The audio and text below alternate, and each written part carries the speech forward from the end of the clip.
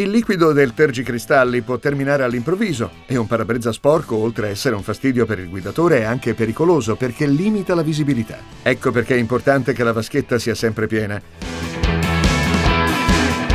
Riempirla è un'operazione semplice.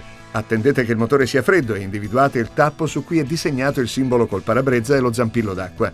A questo punto potete riempire con acqua di rubinetto, ma se quella della vostra città è molto dura, per evitare che i condotti si intasino, potete usare dell'acqua demineralizzata. Procuratevene qualche litro. A seconda dell'auto, i serbatoi possono contenerne oltre 5.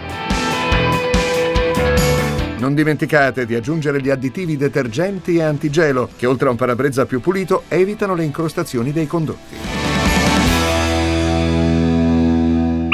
Se gli ugelli sono otturati dal calcare, si può provare ad aggiungere alla vaschetta piena un bicchiere d'aceto, un anticalcare a buon mercato che non rovina la vernice. Al posto dell'antigelo in inverno si può optare per un bicchiere di alcol denaturato. Cambiate periodicamente anche le spazzole.